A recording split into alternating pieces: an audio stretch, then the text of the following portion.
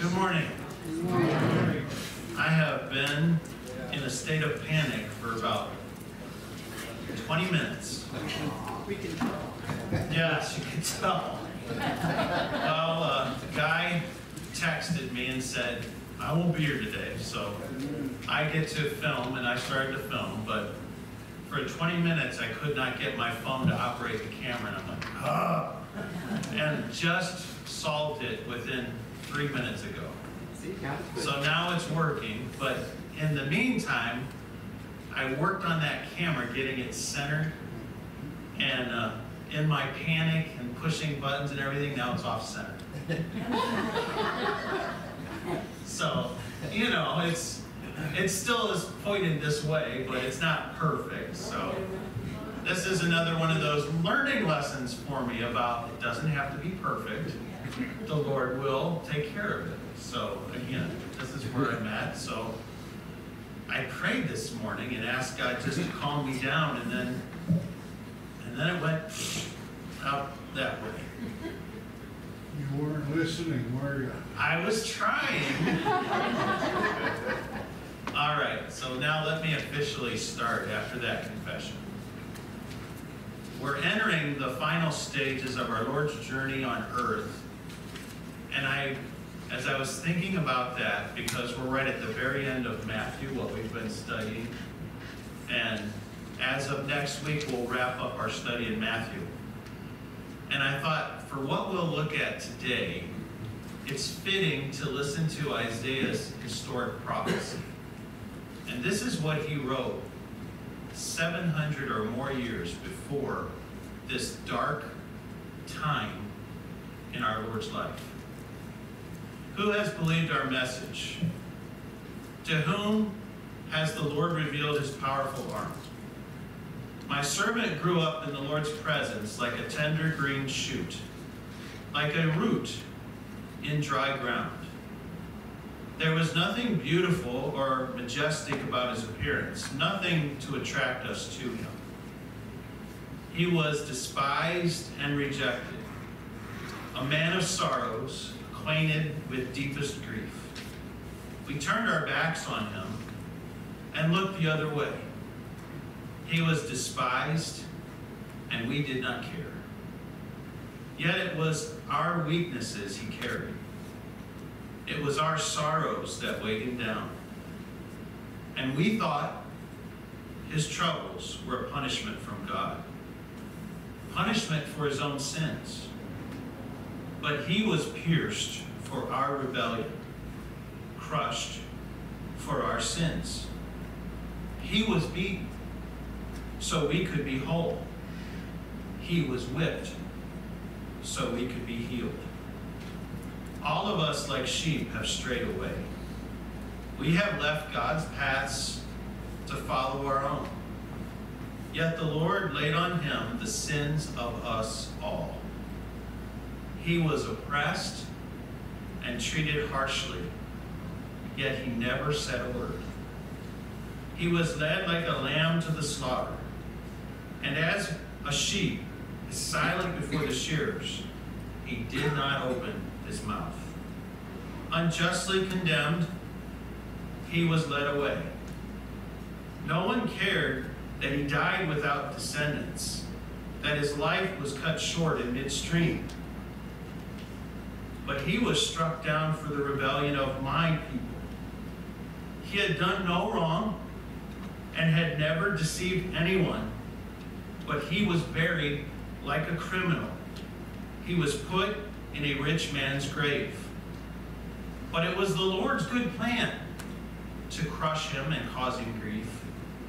Yet when his life is made an offering for sin, he will have many descendants. He will enjoy a long life, and the Lord's good plan will prosper in his hands. When he sees all that is accomplished by his anguish, he will be satisfied. And because of his experience, my righteous servant will make it possible for many to be counted righteous, for he will bear all their sins. I will give him the honors of a victorious soldier. because he exposed himself to death. He was counted among the rebels. He bore the sins of many and interceded for rebels. Who was to blame for all that he suffered? Us. That's it. It was us. We were the cause. Let's pray. Father in heaven, as I come before you right now, we have heard your words this morning. Isaiah wrote so long ago, and these words were fulfilled in the ordeal that your son experienced for all of us. And we understand and realize that without death, there can be no forgiveness for sins.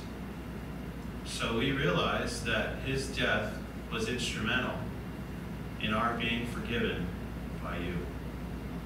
How we are humbled and how appreciative we are that he went through all of this to secure for us forgiveness and eternal life.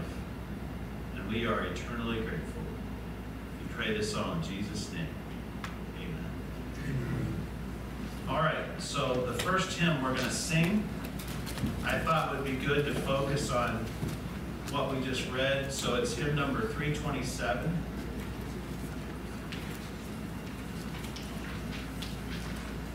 And we're going to sing the first, third, and fourth verse of number 327. And it's probably a very familiar hymn to many of you.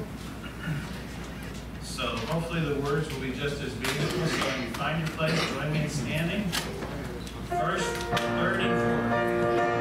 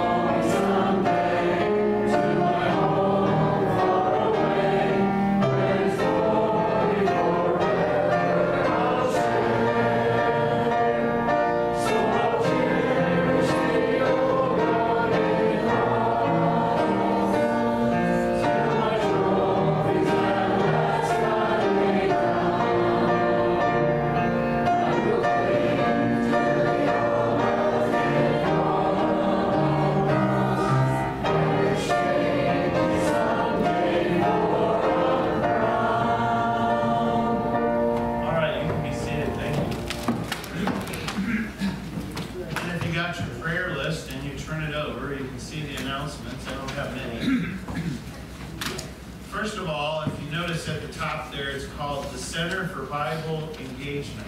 And what that is, is that the producers of Our Daily Bread, that many of you enjoy and pick up in the hallway there, they contacted me. Contacted me by email, they contacted me by phone. And so I talked with them, and they wanted us as a group to participate in a pilot program that they're trying out with a group of churches with the hope of rolling the program out full speed ahead in 2025. So I thought about it a lot, considered what they were saying, and I consented. So I consented for all of us. And that means all of us must participate. It's a church program, all right? Now, you're probably thinking, okay, what do I have to do? All right. There at the table where you pick up your handouts is one of these, okay? By itself. And what it is, is it's your access to a survey that they want you to take. And I was promised it's not a survey that's going to take it out, okay? But anyways, there's the form. It's on the back, okay? There's two ways of accessing it. You can scan this with your phone, smartphone, or there's an actual link you can type in at the bottom underneath it to access it, okay? And so you have until August 30th to do this survey. And so my thought is it would be great if we got at least 30 or between 30 and 40 replies for this, all right? And so that would mean, hey, youth, teens, do the survey too, all right? As many as we can do, let's do it. And then from there, after August 30th, then they will come to me with another step in the program that I should follow through on. But this is the first step. Okay, and it's by Our Daily Bread are the producers of it. So if you're taking advantage of their materials, then you should participate. Okay? That's what they're asking us to do. So please participate. That'll be my last announcement. If we run out of these forms and you need one, let me know and I'll make a copy. All right. Then the second announcement there, Right Now Media, I was looking through them this week and I came on this program called The Israel Story. And I started watching it and I couldn't stop watching it. It's that good. It's I haven't finished watching it, but I'm planning today to watch more episodes this afternoon. And you might say, well, what is it about? It is a Jewish Christian teaching, and he's teaching the whole Bible as to how Israel is being used of God throughout the whole Bible, from the Old Testament through to the New Testament. And then when he gets done, he's even going to look at present day situations involving Israel. And his teaching is phenomenal. And I watched that just amazed and he has a the the setting is a place where he's teaching a group of 20 somethings and it's a very relaxed setting and his interaction with them is conversational as he's teaching the bible and showing god's plan for israel starting from the very beginning in genesis and stretching throughout the whole bible through the new testament also so i would encourage you watch this you will not be disappointed. You will gain much from seeing this. Much about God's plan for all of us. It's that good. Okay? The Israel story. Be sure, check it out, and watch it. And my understanding is the whole teaching session was probably a day to do this. And so what they've done is they've broken up each period of about 25 minutes. So they'll they'll do a segment and then if you keep watching, it'll go right into the next segment. And actually, his teaching is going the whole day long. Okay, but they've broken it up into pieces. So if you watch a couple pieces and you got to stop, you can stop and go back and pick up where you left off. Okay, but it is very good. You will be you will learn something great about our God. Okay, so next. Denise, would you like to share the news about your husband? Okay, why don't you come right up here?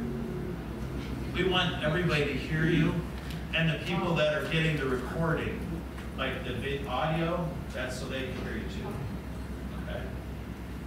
Good morning. Good morning. So most of you know that Dwayne has been battling with a muscle disorder. Well, it's come to the conclusion, we went to his spinal muscle doctor, and his doctor has become aware of a medicine that he has been on since 2015, and it causes muscle deterioration and weakness. So he has taken him off of it, and Dwayne is now without his cane. So he's going to continue hopefully to get better. You know, I'm not sure I believe that. Would you stand up? What do you think? Isn't God good? It only takes one doctor to come to a different conclusion that works. Praise God for that. Okay, got a couple prayer requests I want to mention to you.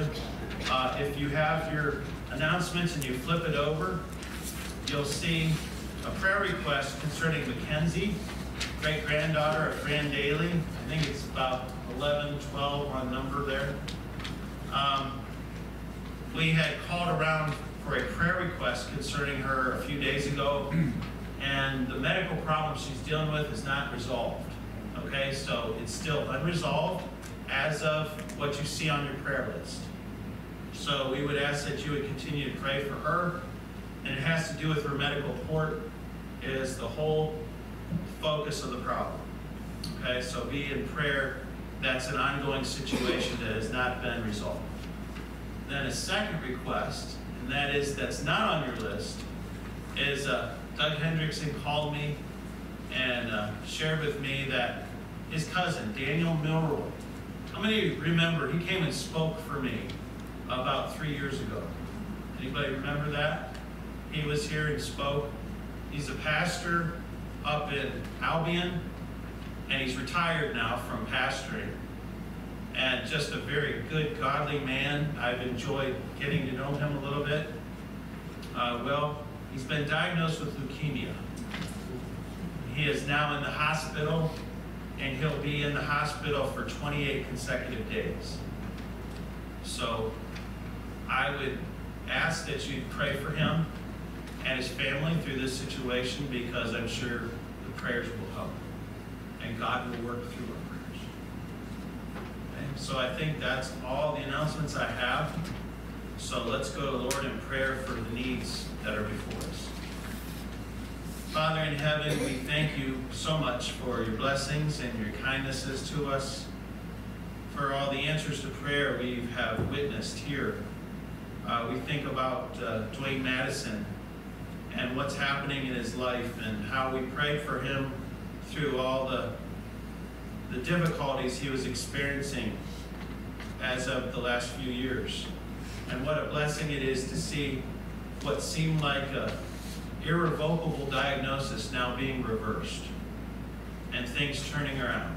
And we know that you're doing, that's your hand, and we give you praise, glory, and honor because you're the God that can do what's impossible.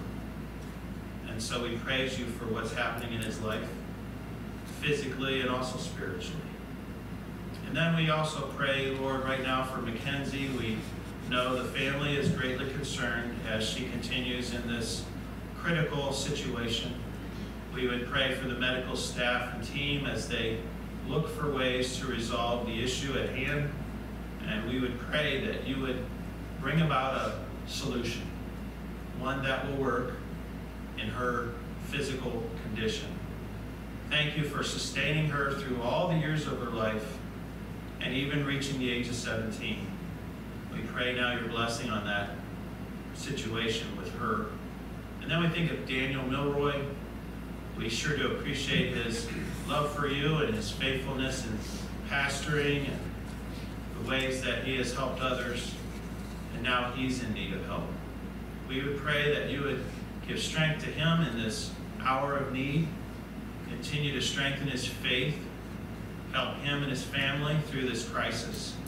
We pray also that you would intervene physically and help with the medical treatment. Thank you for what you're going to accomplish. We rest in you.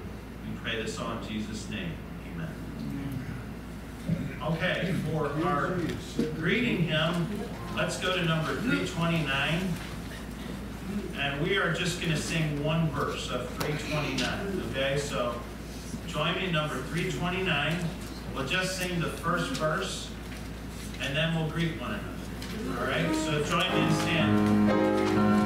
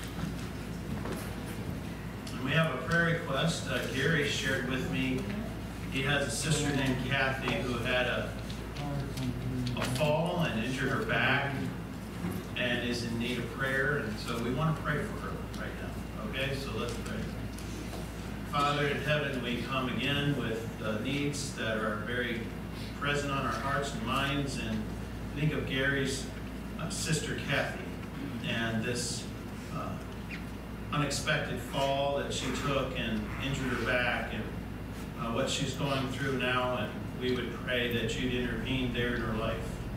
Help her, Lord, with the discomfort that she might be in and help her to heal from this injury, to get back on her feet. And we pray for any spiritual needs in her life, that you would also meet those needs too. We trust in you to do what we cannot do. We pray this all in Jesus' name.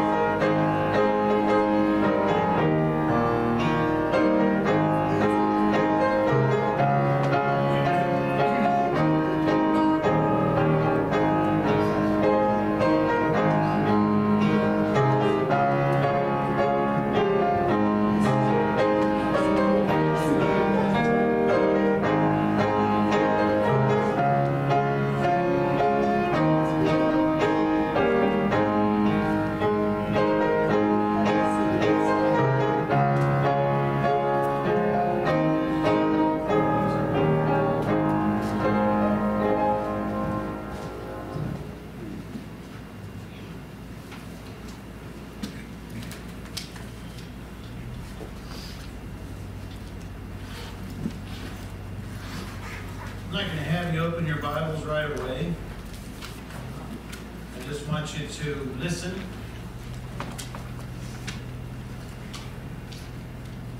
We're beginning the journey with Jesus into the dark end of his physical life. And we're informed by those who understood it best. Their writings help us to see clearly what we cannot easily understand. So let me begin by sharing Paul's comments. Listen carefully.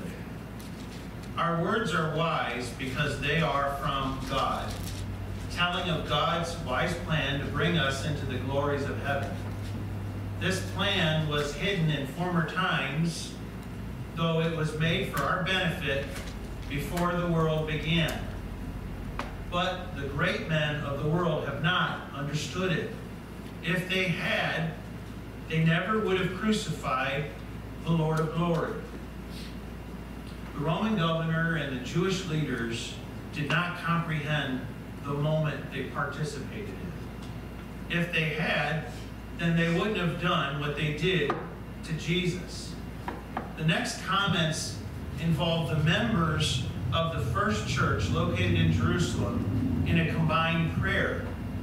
O Lord, creator of heaven and earth and of the sea and everything in them, you spoke long ago by the Holy Spirit through our ancestor King David, your servant, saying, Why do the heathen rage against the Lord? And the foolish nations plan their little plots against Almighty God. The kings of the earth unite to fight against him and against the anointed Son of God. That is what is happening here in this city today. For Herod the king and Pontius Pilate the governor and all the Romans, as well as the people of Israel, are united against Jesus, your anointed Son, your holy servant. They won't stop at anything that you and your wise power will let them do. So the opposition against Jesus is strong and vicious. This alliance of evil is like a flood of force which only God can control. If given a free hand, they will act without restraint in the worst manner. Our next comments come from John the Apostle, written long after the events we will examine today. Before anything else existed, there was Christ with God. He has always been alive and is himself God. He created everything there is. Nothing exists that he didn't make. Eternal life is in him, and this life gives light to all mankind. His life is the light that shines through the darkness, and the darkness can never extinguish it. The darkness of mankind tried to extinguish the light of God meant for our good. But the darkness involving great evil could not overcome the light, even though they believed they could. And then John adds a final comment. But although he made the world, the world didn't recognize him when he came. Even in his own land and among his own people, the Jews, he was not accepted. Only a few would welcome and receive him. Gentiles involved in this dark effort didn't know him. Jews involved in this dark effort acted willfully in rejecting him. Only a minority would yield to the truth in this terrible time. So now I would say, let's begin our journey into the dark with Jesus. So, open your Bibles to Matthew 27. Matthew 27. And we're going to start at verse 26 and read through verse 31 to begin with.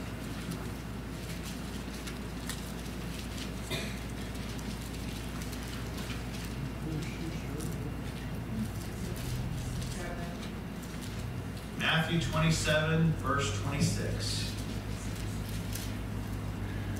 Then he released Barabbas to them, and when he had scourged Jesus, he delivered him to be crucified. Then the soldiers of the governor took Jesus into the praetorium and gathered the whole garrison around him. They stripped him and put a scarlet robe on him. When they had twisted a crown of thorns, they put it on his head and a reed in his right hand. And they bowed the knee before him and mocked him, saying, Hail, King of the Jews! Then they spat on him and took the reed and struck him on the head. And when they had mocked him, they took the robe off him, put his own clothes on him, and led him away to be crucified. In this description, we have the dark actions of a Roman governor ordering the prisoner to be flogged. This had become a cruel measure to bring someone to the point of death without crossing. Get it as close as possible to that line. This involved extreme blood loss and could bring on shock to your system. Now, after this horrible experience, Jesus is delivered into the hands of hardened Roman soldiers, accustomed to showing no mercy to others. Quite possibly being denied the opportunity to take out their vengeance on Barabbas has increased their desire to behave worse with Jesus. Everyone present, possibly numbering as many as 200, join in this dark game of cruel mockery. All the courtesy extended to a true king is twisted to show complete disdain. Everything they can think of to show their disdain to a king is now practiced here. The size of the group adds to the intensity of their actions in trying to outdo each other in depravity, meaning how low can you go? And every single person wants to go lower than the one that came before him. 200. When they finish with him, then he now resembles Isaiah's prediction from long ago. They shall see my servant beaten and bloodied, so disfigured, one would scarcely know it was a person standing there. So shall he cleanse many nations. The ordeal only gets worse after this experience. How? Look at verse 32. Now, as they came out, they found a man of Cyrene, Simon by name. Him they compelled to bear his cross. Condemned prisoners were forced to carry the heavy crossbeam on a torturous journey covering 600 yards that wound through the city. This was the Roman way of showing crime does not pay. They hoped such a display would scare potential lawbreakers from any criminal activity. As we can understand, Jesus was so weakened by his ordeal that he fell under the weight of the beam. So Simon, visitor to the Passover feast, is drafted to carry the beam while Jesus comes the remainder of the way, and I would say, somehow. Somehow. The arrival at the destination adds to his humiliation. And again, we ask, how? Let's go from verses 33 through 38. And when they had come to a place called Golgotha, that is to say, place of a skull, they gave him sour wine mingled with gall to drink. But when he had tasted it, he would not drink. Then they crucified him and divided his garments, casting lots, that it might be fulfilled, which was spoken by the prophet. They divided my garments among them, and for my clothing they cast lots. Sitting down, they kept watch over him there. And they put up over his head the accusation written against him This is Jesus, the King of the Jews. Then two robbers were crucified with him, one on the right and another on the left. So, he's offered drugged wine to lessen the pain in his body, but he will not yield to that mind altering substance. With his mind intact, he witnesses his final possessions being claimed as prizes in games of chance as these soldiers blindly fulfill scriptural predictions.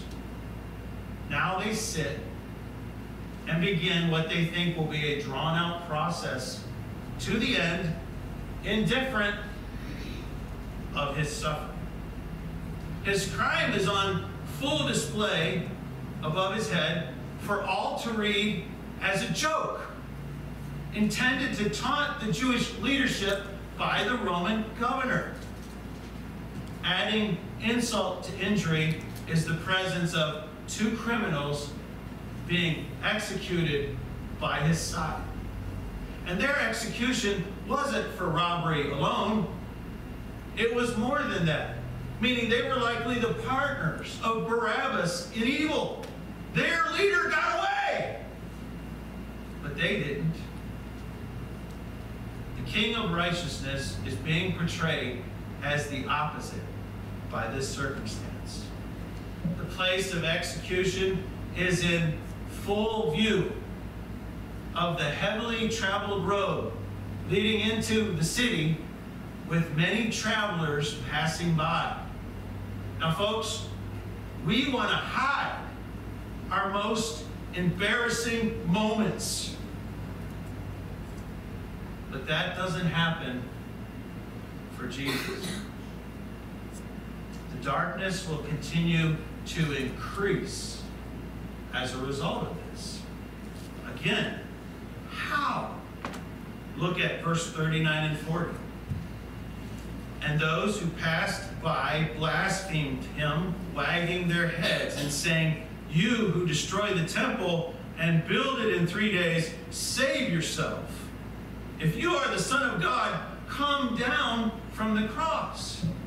So, as we can see, the twisting of his words are used to blaspheme him in the most cruel manner.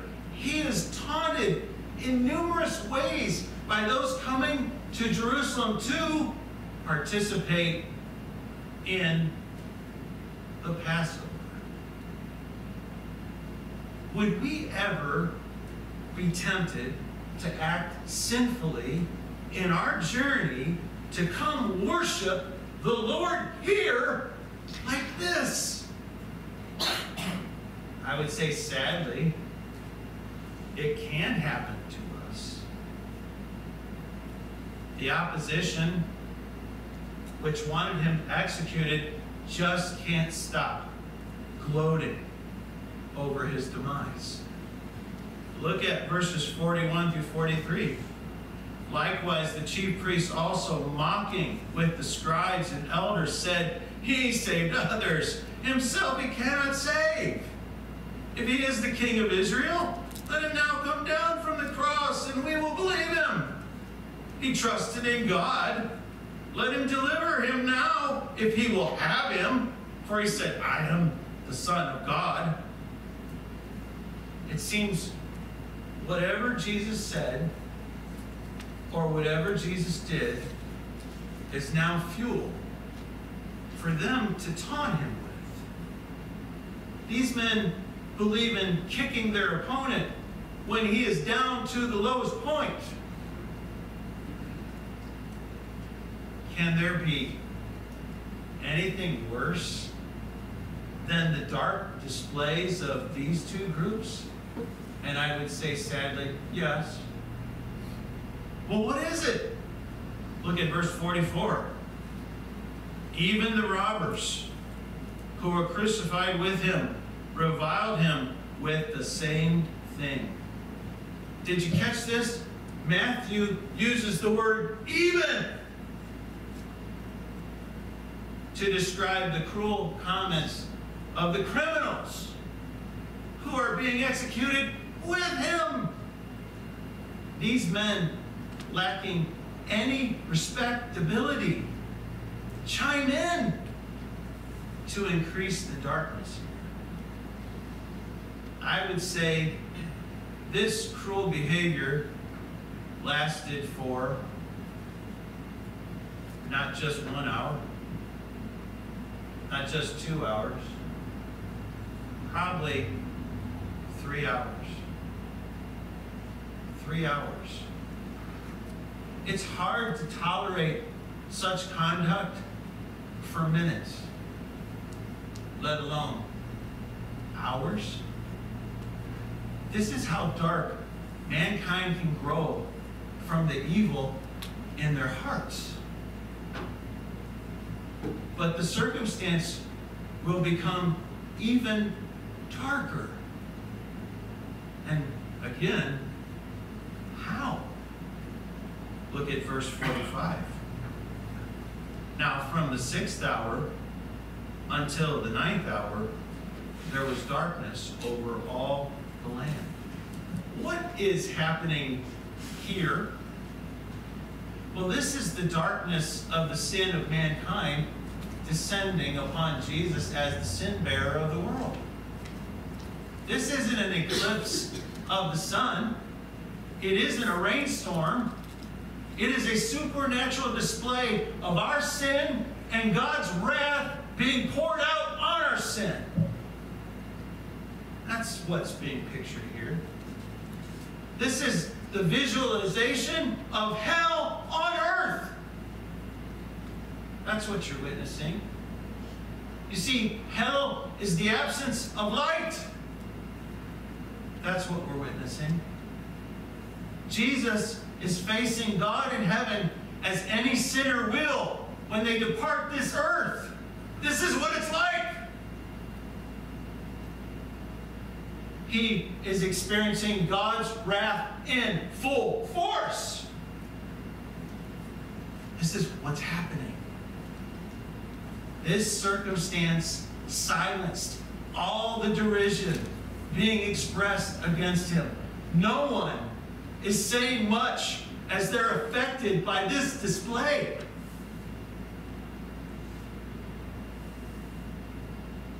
How is it that they're affected so severely?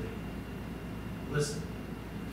God said to Moses in Egypt, Stretch out your hand toward heaven, that there may be darkness over the land of Egypt, darkness which may even be felt.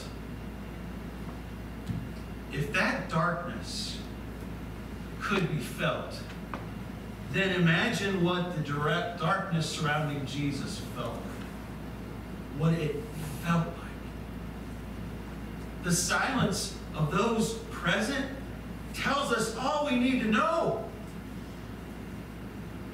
If it is silent for three hours and all you can hear are people breathing, and no one's talking, they're just then who will break the silence? Look at verse 46. And about the ninth hour, Jesus cried out with a loud voice, saying, Eli, Eli, Lama, Sabachthani. That is, my God, my God, why have you forsaken me?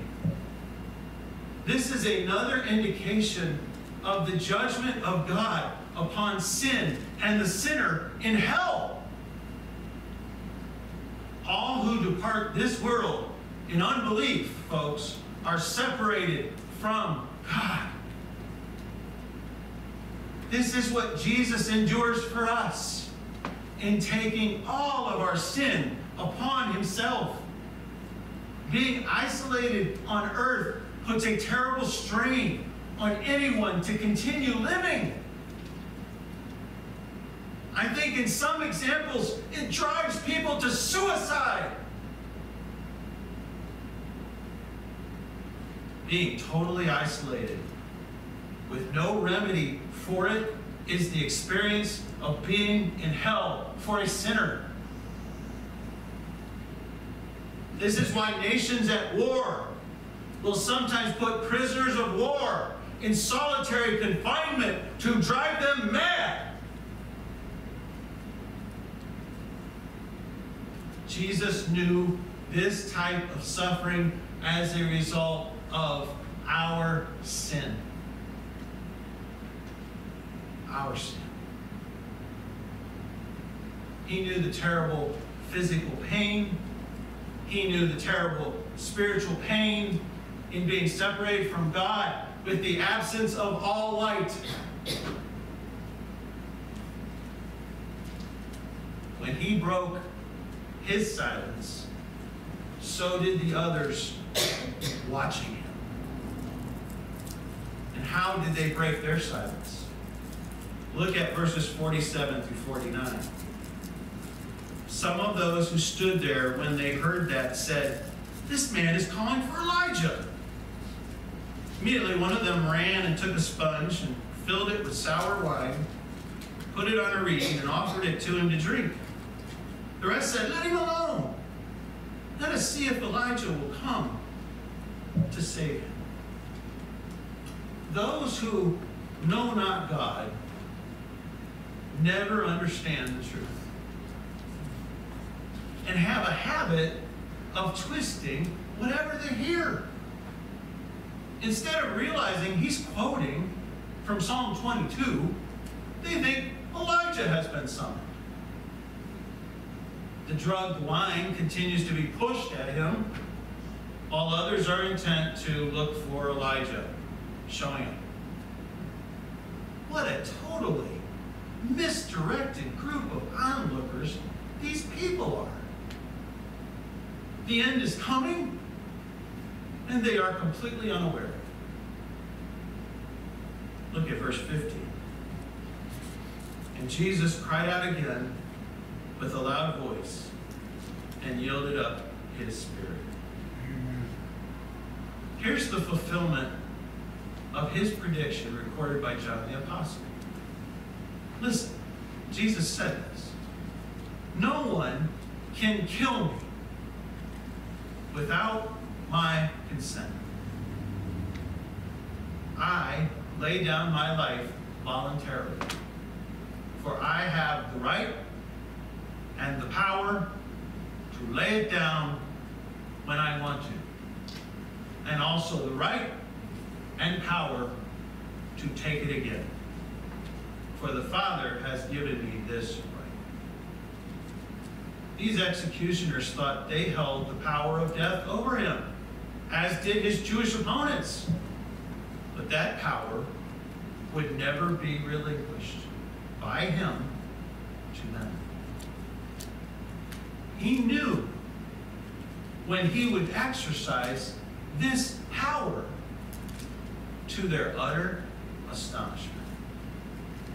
But he wasn't the only one acting in this terrible time outside the realm of human control.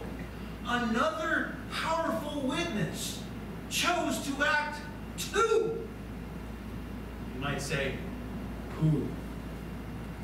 Look at verse 51.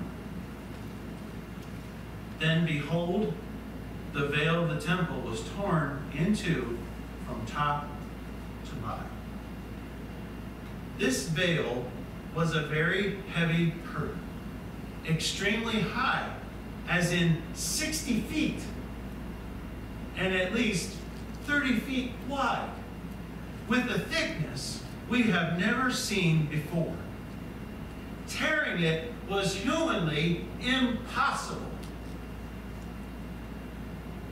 It symbolized the separation of man from the holy God. But God in heaven tore the curtain open from top to bottom to reveal what? All the old ways requiring priests to represent us and sacrifices to make us presentable to God we're over. We're over. None of these things are needed due to the sacrifice of God's Son. This is God's doing. Listen to this wonderful explanation.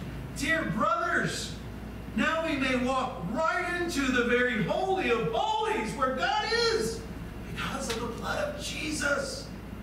This is the fresh, new, life giving way that Christ has opened up for us by tearing the curtain, his human body, to let us in to the holy presence of God. And since this great high priest of ours rules over God's household, let us go right in to God Himself with true fully trusting Him to receive us. Because we have been sprinkled with Christ's blood to make us clean, and because our bodies have been washed with pure water. Folks, this is God's testimony based upon the work of His Son on the cross, and it's marvelous. Not only that, look at verse 51. And the earth quaked, and the rocks were split. In giving of God's law to Moses and the Israelites, the mountain shook furiously, indicating the demands of the law would be binding on all people. It would show us God's standard of perfection and require death for every violation of that standard. But now, the death of Jesus has fulfilled all the demands of the law for all time, for all who belong to God. This is the earth shaking truth testified by God. It's a moment in time as sacred as the giving of the law. Listen to this wonderful description of this moment. When you came to Christ, He set you free from your evil desires, not by a bodily operation of circumcision, but a spiritual operation, the baptism of your souls. For in baptism, you see how your old evil nature died with Him and was buried with Him. Then you came up out of death with Him into a new life because you trusted the word of the mighty God who raised Christ from the dead. You were dead in sins, and your sinful desires were not yet cut away. Then He gave you a share in the very life of Christ, for He forgave all your sins and blotted out the charges against you, the list of His commandments which you had not obeyed. He took this list of sins and destroyed it by nailing it to Christ's cross. In this way, God took away Satan's power to accuse you of sin. And God openly displayed to the whole world. Christ's triumph at the cross, where your sins are all taken away. Hallelujah! Amen! This is victory for us. This is our glory and our praise. Hallelujah! John the Baptizer said, Jesus is the Lamb of God which takes away the sin of the world. And folks, we know this for a fact. Look at verse 52 and 53. And the graves were opened, and many bodies of the saints who had fallen asleep were raised. And coming out of the graves after his resurrection, they went into the holy city and appeared to many. Oh, this is amazing. Somewhere around Jerusalem was a cemetery housing the bodies of righteous people. And it seemed the grave and death were victorious over God's people at that time. But God's message is that the reign of these two is coming to an end. However, many were included in this miracle gave witness to this fact after the resurrection of Jesus was accomplished when they joined him in that moment. Listen to Paul's famous saying about resurrection. When this happens, then at last this scripture will come true. Death is swallowed up in victory. Oh, death, where then your victory? Where then your sting? For sin, the sting that causes death, will all be gone. And the law, which reveals our sins, will no longer be our judge. How we thank God for all of this. It is He who makes us victorious through Jesus Christ our Lord. You see, God in heaven was busy pointing to the truth which his son fulfilled. He was pointing, he was pointing, he was saying, Look, look, look. Another fitting comment on this dark moment in the life of Jesus comes from Paul. Here's what he said. And we know that all things work together for good to those who love God, to those who are called according to his purpose. You know, as we can see, all that happened here wasn't dark. It wasn't. And again, you got to say, well, like what? Look at verse 54. So when the centurion and those with him who were guarding Jesus saw the earthquake and the things that happened, they feared greatly, saying, Truly, this was the Son. Hey, the Roman commander and his group of soldiers present, they did not stay the same. They knew, they witnessed something that was not natural. And they rightfully attribute it to who? To Jesus. To Jesus. This group discovered the truth as a result of God's testimony to them when they weren't looking for him. This is a visual example of a story that Jesus told during his ministry about Gentiles. The kingdom of heaven is like a treasure a man discovered in a field. In his excitement, he sold everything he owned to get enough money to buy the field and get the treasure too. That's what this commander and his soldiers are doing. They just stumbled into treasure. Where? At the cross. What other good came from this dark moment? Look at verse 55 and 56. And many women who followed Jesus from Galilee, ministering to him, were there looking on from afar. Among whom were Mary Magdalene, Mary the mother of James and Joses, and the mother of Zebedee's sons. Here's something wonderful. You ready? These women wouldn't abandon Jesus. Even when the 12 deserted him, you know who stuck by him? It was the women. The women wouldn't leave. They wouldn't give up. They wouldn't forsake him. They supported him in doing ministry, and they stayed right to the very end. It seems that Matthew points out three from the larger group of women from Galilee for special recognition. And you might say, why? Let's start with Mary Magdalene. You know what's special about her? Jesus delivered her from demonic possession. That's her claim to fame. I was controlled by the enemy, and my Lord saved me.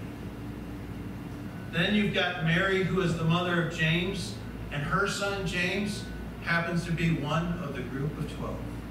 She's the mother of a disciple. She's here at the cross, sad to say, and her son isn't. The mother of James and John, the sons of Zebedee, is named Salome. I wonder if Salome, in this moment, regrets her earliest suggestion made to Jesus about her two sons. You remember it? She said to him, Grant that these, my two sons, may sit, one on your right hand and the other on your left, in your kingdom. I wonder what she thinks now, standing there looking at the cross of Jesus. According to John, her son, these three women are standing with the mother of Jesus at the cross. And John is standing there too. Paul wrote a meaningful comment which applies to all the women from Galilee present. We can rejoice too when we run into problems and trials, for we know that they are good for us.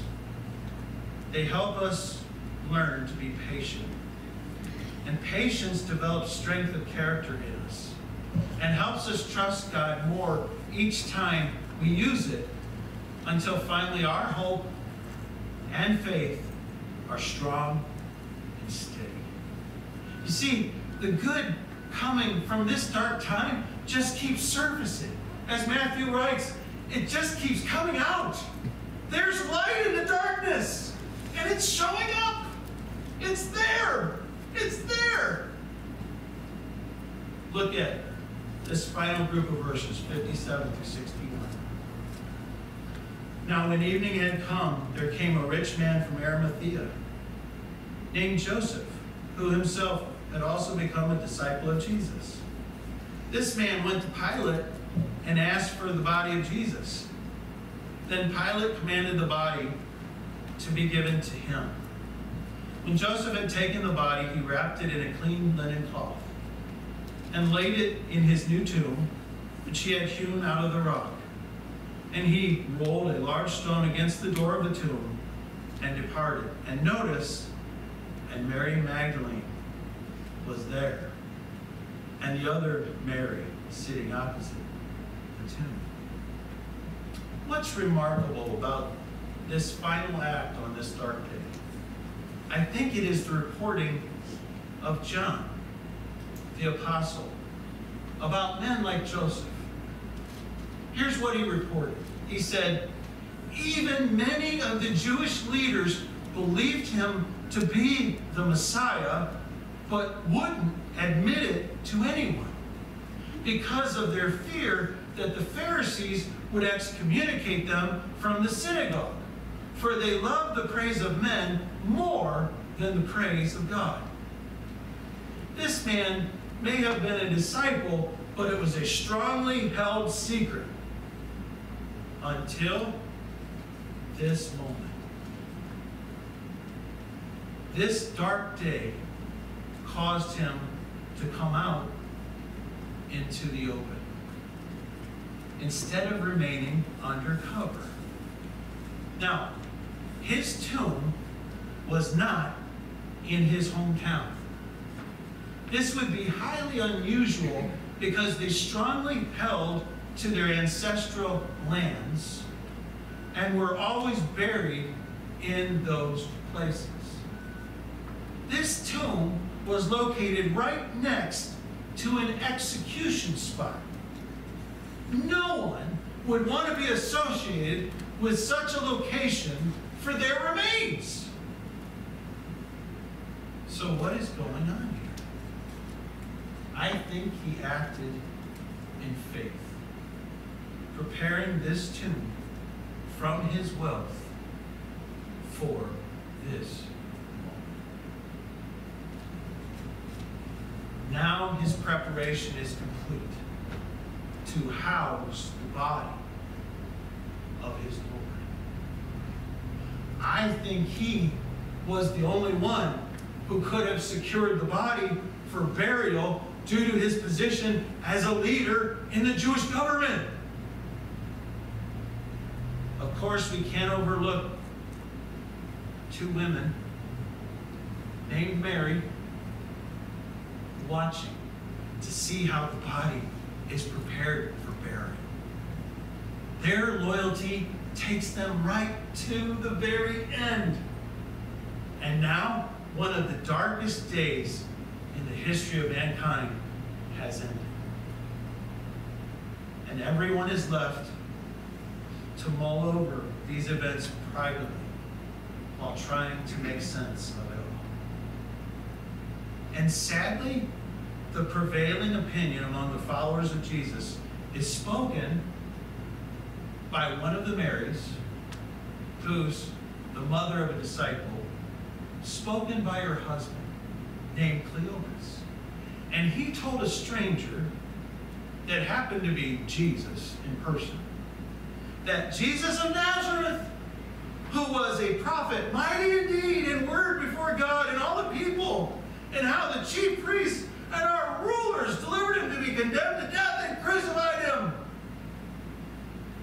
But we were hoping that it was he who was going to redeem Israel.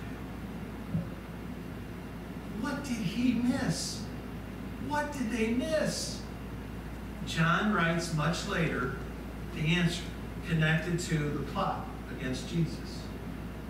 This prophecy that Jesus should die for the entire nation came from Caiaphas in his position as high priest. He didn't think of it by himself, but was inspired to say it.